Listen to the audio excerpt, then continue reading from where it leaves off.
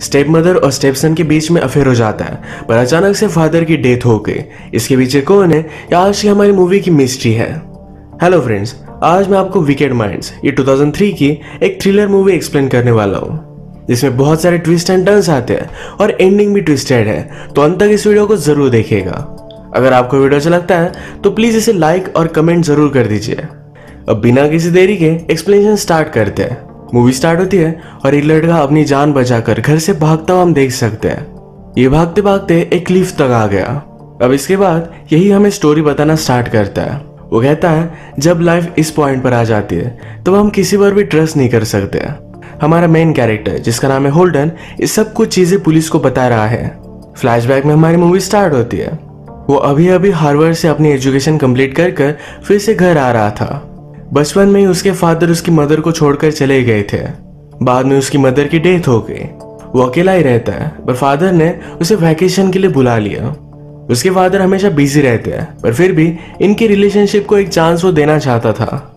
वो घर पर आया, अपनी मेड से मिला, जो बचपन में उसका ख्याल रखती थी। एक दूसरे से मिलकर बहुत खुश थे। होल्डन फिर अपने फादर को ढूंढते हुए उनके बेडरूम में गया। वहाँ पर लाना बात ले रही थी। उसे ऑकवर्ड लगा तो डोर वो बंद कर लेता है। तभी उसके फादर आए। उसे देखकर बहुत खुश थे। ये दोनों इतने दिनों बाद मिले, पर फिर भी फादर होल्डन को ज़्यादा पैसे खर्च करने के लिए टोकते हैं। फादर बहुत ही खुश थे, क्योंकि उनकी लाइफ में अब लाना है। लाना ने उन्हें होल्डन से इंट्रोड्यूस करवाया। वो कहते हैं, ये मेरी वाइफ है। इस बात से वो सरप्राइज़ था, पर फादर लाना के साथ खुश है। आज रात ऑक्शन और पार्टी थे। फादर जरा बिज़ी हो गए तो लाना और होल्डन बात करते इनका मिलना जरा एम्बेरसिंग था। तो लाना कहती है, ज़्यादा वरी मत करो। उसने उससे मज़ाक लेता हुआ कहा, तुम तो बहुत ही हैंडसम हो। तुम्हारी गर्लफ्रेंड होगी। होल्डन कहता है, उसने मुझे धोखा दिया था। लाना फिर कहती है, तुम्हें बहुत अच्छी गर्लफ्रेंड मिलेगी। वरी मत करना। उसकी एक फ्रेंड है, उसे उसे मिलवा देती है। इस फ्रेंड का नाम था निकोल यही इस ऑप्शन में फादर लाना के लिए एक बहुत ही अच्छा सा नेकलेस बाय करते हैं। इसी की ब्यूटी के बारे में बताते हुए लाना कहती है कि प्राइसलेस है। फादर कहते हैं, हर एक चीज़ की प्राइस होती है रिलेशनशिप की भी। इसका मतलब है, फादर को लगता है कि लाना सिर्फ़ पैसों के लिए उनके साथ है। ये सब बातें कर रहे थे तो इनके साथ फादर का लॉयर हैरी भी था। हैरी और लाना को कंफर्टेबली बात करता देखकर फादर जेलस हो गए। लाना उसे समझाती है कि ऐसा कुछ भी नहीं।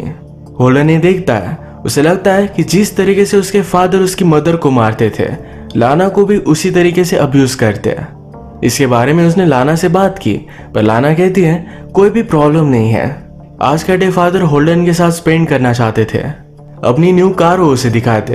होल्डन को एक कार बहुत पसंद आई थी, पर फादर अपनी कार को उसे टच भी नहीं करने देते। इसके बाद ये दोनों फादर के ऑफ़िस में आए। पूरा डे स्पेंड करने वाले थे, पर अचानक से कुछ काम आ जाता।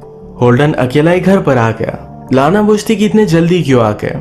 लाना उससे कहती है, तुम्हारे फादर के साथ आज रात मेरा डिनर था। वो भी उसने कैंसिल कर दिया। वो कहती है, क्यों ना हम दोनों हैंग आउट करें? इसके बाद लाला ने उसी गाड़ी को गरा से बाहर निकाल लिया। होल्डन डर रहा था, पर फिर भी वो कहती है, तुम्हारे फादर को मैं कंट्रोल कर सकती हूँ। ये दोनों फिर टाउन में एक बार में आए, पर बार बंद था। पर लाना इसके ओनर को जानती है। चावी चाबी ढूंढकर ये अंदर घुस गए। ड्रिंक्स करते हुए एक दूसरे के बारे में जानते हैं। लाना छोटे से टाउन से आती है। उसकी बचपन और उसकी लाइफ ये बहुत ही हार्ड थे। होल्डन के फादर कितने अजीब है, इसके बारे में भी उन्होंने बात की। ये दोनों ड्रंग थे तो आज रात इंटीमेट हो जाते हैं। रात में जब फादर को पता चला कि लाना ने उनकी गाड़ी ली थी तो बहुत ही गुस्सा हो गए अगली सुबह लाना के बॉडी पर मारने के निशान ये होल्डन नोटिस करता है। ब्रेकफास्ट के वक्त फादर ने उनकी मेड को उसका बर्थडे था, इसके लिए अच्छा सा हॉलीडे प्लान दिया।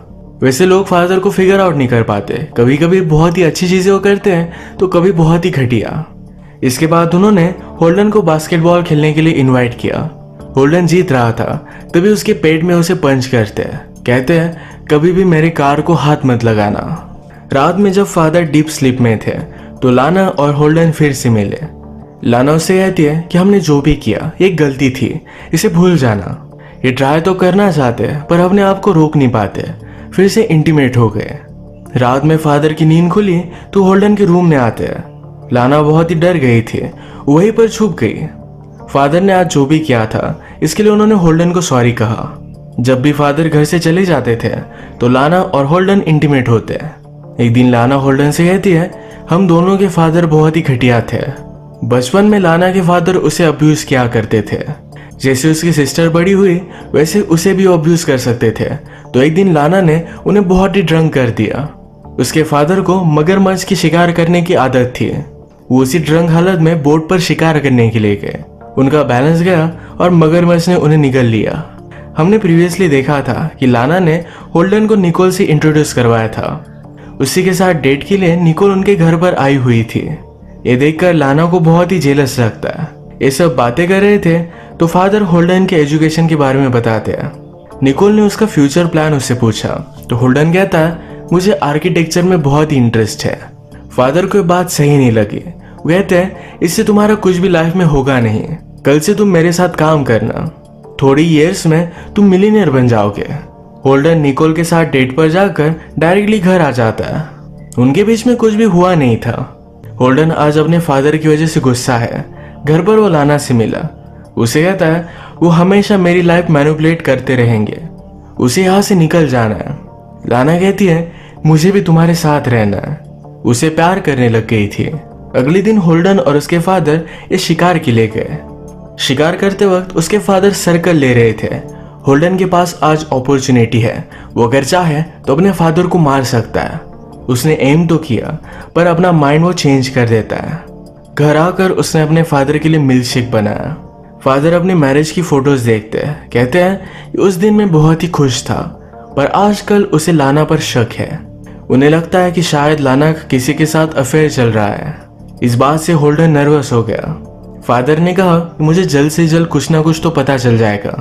होल्डन डर चुका था तो लाना को मिलने के लिए एक मोटेल में बुलाता है। उसने कहा कि फादर को शक चला गया है। उनके बीच में जो भी है, ये कंटिन्यू हो नहीं सकता। होल्डन अब इस टाउन से दूर जाने वाला था। लाना कहती कि मुझे भी तुम्हारे साथ लेकर चलो। आज ये दोनों यही पर आखिरी बार इंटीमेट हो गए। होल्डन को नींद आ गई। उसकी आँख खुली तो रात हो चुकी है। वो जब इस मॉडल से जा रहा था तो डेस्क पर भी कोई भी नहीं। जाते जाते उसे एक बेगर मिला। उस बेगर ने उसे टाइम और कुछ पैसे मांगे। होल्डन ने उसे हंड्रेड डॉलर्स दे दिए। इसके बाद वो घर पर आकर अपने लिए ड्रिंक वगैरह बनाता है। उसने हॉल में देखा तो शॉक था, क्योंकि उसके फादर का मर्डर हो चुका है। पुलिस बुलवाई गई। उन्होंने देखा कि उसके फादर पर बहुत सारी इंजुरीज है। वो होल्डन से और लाना से क्वेश्चंस करते हैं। पुलिस ने पूछा कि तुम कहा थे? होल्डन कहता है कि मैं मूवी देख रहा था। लाना का कहीं भी अता पता नहीं था। वो लेट 11 बजे घर पर पहुँचती है। पुलिस उससे पूछते हैं, तुम कहा थी? लाना ने कहा, मैं मेरी फ्रेंड निकोल के साथ डिनर कर रही थी। रात में होल्डन लाना के रूम में आता है। तो बहुत सारे पैसे लेकर रात में कहीं जा रही थी। होल्डन ने पूछा कि ये क्या है? लाना कहती है, हम दोनों जब इंटीमेट हुए थे तो मेरी फ्रेंड निकोल ने हमें देख लिया था। उसके पास हमारा वीडियो टेप है। अगर ये टेप पुलिस को मिल जाता है तो इन दोनों पर ही शक आएगा। तो इसी वजह से निकोल उन्हें ब्लैकमेल कर रही थी। यही पैसे देने के लिए लाना जा रही थी। सारी चीज़ों की वजह से होल्डन बहुत ही डिस्टर्ब है। अपने फादर का फ्यूनरल चल रहा था, तभी होल्डन को लाना से बात करनी थी। सबके सामने उसके साथ बात नहीं कर सकती तो होल्डन ने उसका हाथ पकड़ लिया। होल्डन के फादर के लॉयर हैरी ने ये सब देखा और होल्डन को कुछ भी गलत करने से रोक लिया। फादर का लॉयर जिसका नाम है हैरी होल्डन से कहता है, तुम्हारे फादर के पास सब कुछ था, सिर्फ़ जवानी नहीं, शायद यही चीज़ वो लाना के साथ ढूंढ रहे थे। पुलिस को लगता है जिसने तुम्हारे फादर का मर्डर किया, वो बहुत स्ट्रांग होगा। लॉयर को लाना पर शक है कि शायद उसने किसी की हेल्प से ये मर्डर किया। लाना अकेली थी तो होल्डन इसी के बारे में उसे कन्फ्रंट करता है। लाना को लग रहा था शायद होल्डन ने मर्डर किया। उसे कहती है, मैं तुम्हें प्रोटेक्ट करूँगी। ये दोनों एक दूसरे पर बिलीव नहीं करते। अब थोड़ा टाइम बीत चुका था। शांत होकर होल्डन और लाना बात करते हैं। होल्डन ने कहा फादर मेरी मदर को बहुत मारते थे। उसे अकेला छोड़कर चले गए। जब वो बीमार पड़ी, फिर भी उसका हाल पूछने के लिए नहीं आए। मैं उन्हें हेट करता था, मेरी मदर को अब्यूज करने के लिए, तुम्हें मारने के लिए। लाना कहती कि तुम्हारे फादर ने मुझे कभी भी नहीं मारा। होल्डन ने लाना के हाथ पर जो निशान देखे थे, ये जिम में वर्कआउट की वजह से हुए थे। इसके बाद लाना निकोल को पैसे देने के लिए जा रही थी। होल्डन लाना पर ट्रस्ट नहीं करता तो उसका पीछा करते करते उस साइड तक आ गया। होल्डन को देखकर लाना और निकोल यहाँ से चले जाते हैं। होल्डन को फिर उसके लॉयर ने बुलवाया हुआ था। वो कहता है, तुम्हारे फादर की वेल में लाना को कोई भी ज़िक्र नहीं। सारी प्रॉपर्टी होल्डन को ही मिलने वाली है। लॉयर को शक है कि शायद होल्डन ने अपने फादर को मार डाला। होल्डन ने पुलिस से कहा था कि उस रात वो मूवी देख रहा था, पर लॉयर ने पता किया है कि उस दिन कोई भी शो नहीं हुआ। लॉयर को एक टेप भी मिली थी, जिसमें लाना और होल्डन ये दोनों इंटीमेट हो रहे थे। होल्डन उसे सब कुछ सच बताता है। कहता है, उस दिन मॉडल में हम लास्ट टाइम मिले थे। लॉयर ने फिर पूछा कि क्या लाना तुम्हारे साथ ही थी? होल्डन कहता है कि मुझे नींद आ गई थी तो वहाँ से चली गई।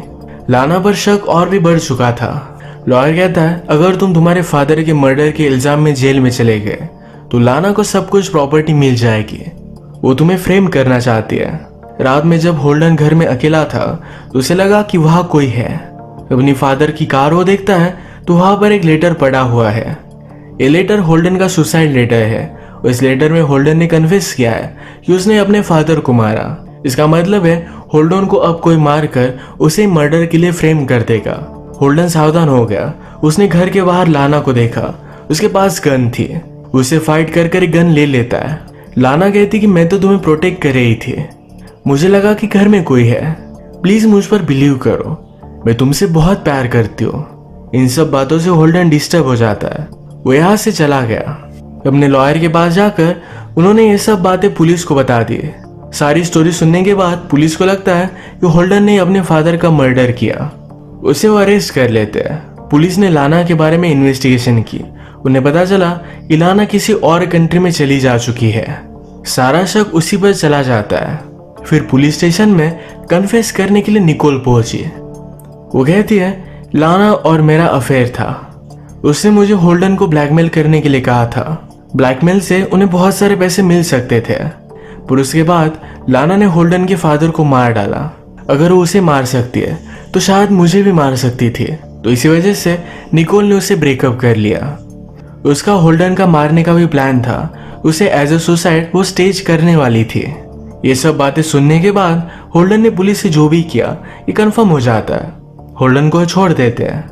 उसे अब सारी प्रॉपर्टी मिल चुकी है। होल्डन का लॉयर कहता है, तुम्हारे फादर की टॉक्सिकोलॉजी रिपोर्ट आए इसे पता चला, उन्हें जहर दिया गया था। उन पर वार करने से पहले ही उनकी डेथ हो चुकी थी। रात में फिर घर पर होल्डन मर्डर वेपन को ढूंढ लेता है। अंधेरे में से निकोल बाहर आए। होल्डन के पास आकर उसे किस कर लेती है। मतलब सारा कुछ प्लान होल्डन और निकोल का था। ये दोनों एक्चुअल में एक दूसरे को बहुत पहले से जानते थे। ऑलरेडी दोनों रिलेशनशिप में थे। फिर इन दोनों ने मिलकर होल्डन के फादर को मार डाला। पुलिस को लगता है कि लाना इस कंट्री से चली गई, पर एक्चुअल में निकोल ने लाना के कपड़े पहने थे। उसका पास